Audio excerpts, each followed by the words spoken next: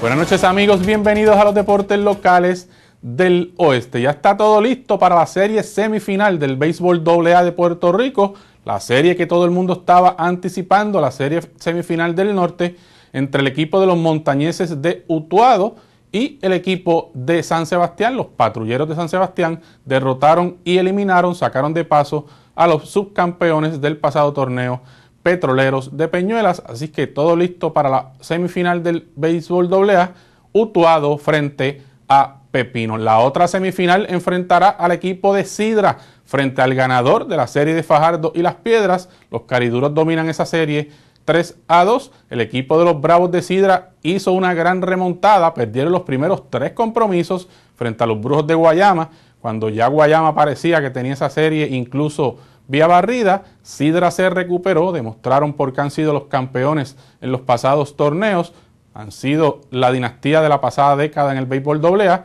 y los Bravos lograron cuatro victorias en forma consecutiva. Así que ahora Sidra espera el ganador de Fajardo o Las Piedras. Precisamente sobre el tema del béisbol AA de Puerto Rico, hablamos con nuestro compañero presidente de Copedén, el amigo Irán Vega.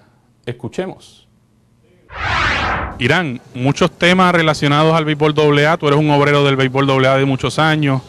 Tu opinión sobre la idea de la federación que se ha estado comentando de los nacionales de Roldán para el béisbol profesional? Bueno, para mí eh, es un error eh, garrafal. Eh, el que un equipo de béisbol aficionado entre el béisbol profesional por dos razones. Primero, que los aficionados al jugar en el béisbol profesional pierden eh, su estatus de eh, pelotero aficionado en Puerto Rico.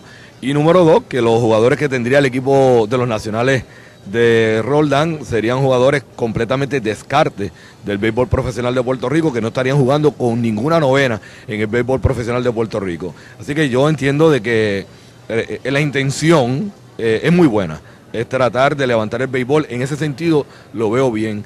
Pero en la ejecución es donde yo veo que realmente eh, no le veo ningún tipo de posibilidad, porque jugadores aficionados enfrentándose ya a jugadores profesionales, jugadores que vienen del béisbol organizado, eh, del béisbol de la Grandes Ligas, el béisbol profesional de los Estados Unidos, vienen a reforzar al equipo en Puerto Rico.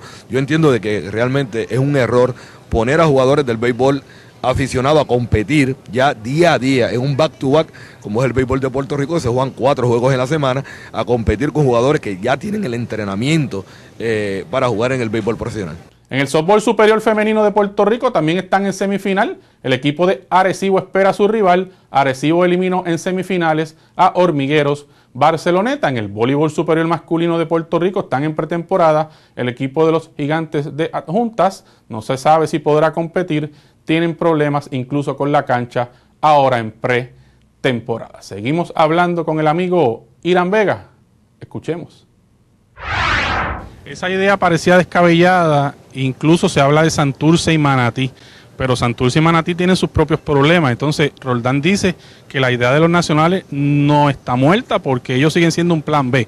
Así que hay que ver a dos meses de la temporada, dos meses y medio del béisbol profesional, la liga sigue con sus problemas y quizás recurrirían a Roldán para enmendar quizá la situación de que Santurce o Manatí no jueguen. Bueno, eh, eso, eso, eso es una idea. El problema es el siguiente.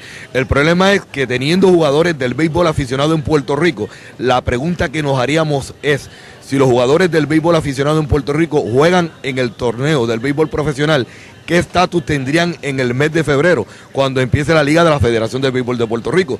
¿Sería un estatus de aficionado o un estatus de profesional? Entonces, equipos, vamos a ponerte el ejemplo, Fajardo, que tiene a, a Félix Ortega, que es un lanzador, que es un, lanzador nacional. Si juega con el equipo nacional de Puerto Rico, ¿qué estatus tendría con Fajardo el próximo año? ¿Cuántos refuerzos profesionales tendría el equipo de Fajardo? Porque entonces habría que quitarle los dos que tienen. Entonces, eh, tendría que decidir por G. Félix Ortega.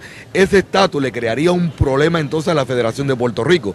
El caso de Manatí y Santurce está viva todavía la idea. Santurce tiene un empuje grande para entrar nuevamente en el béisbol profesional de Puerto Rico.